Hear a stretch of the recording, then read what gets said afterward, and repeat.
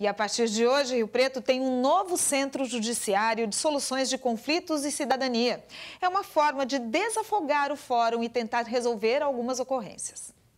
Enquanto os animais estão no pasto, tudo bem. O problema começa quando eles conseguem sair da cerca e vão parar nas ruas do bairro Dignidade, em Rio Preto. E daí eles deixam rastros por onde passam. Como ele é forte, o pote deles é forte, que eles encostam aqui, é onde acontece de tombar e amassar e quebrar isso daqui. Esse é só um problema que alguns moradores enfrentam e parece não ter solução. Mas tem um outro tipo que vira até caso de polícia. Essa moradora não quer se identificar para não piorar a situação. Ela sabe muito bem do que eu estou falando, a relação com os vizinhos. Foi a questão do som, né, com, com o vizinho.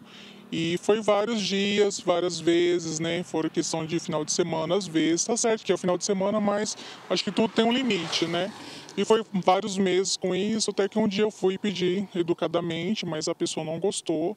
Aí foi onde começou a ficar um pouco pior.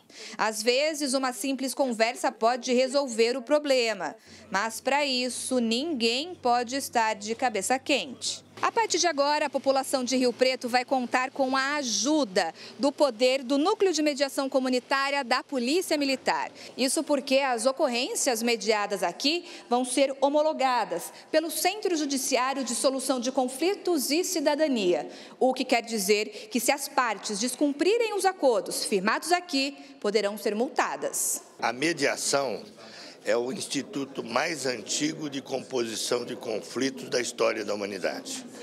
Portanto, ninguém está inventando nenhuma ferramenta nova para fazer a solução dos conflitos que ocorrem na sociedade. Quatro policiais vão trabalhar diretamente com o núcleo de mediação.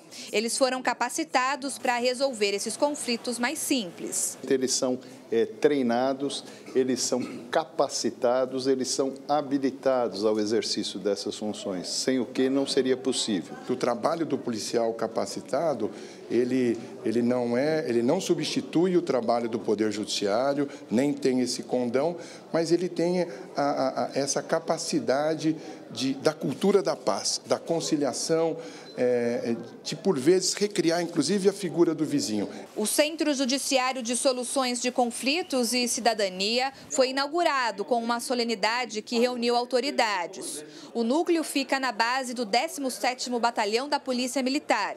E, sem sombra de dúvida, Rio Preto é, sai na frente, com a disposição da Polícia Militar, com o treinamento, com a qualificação.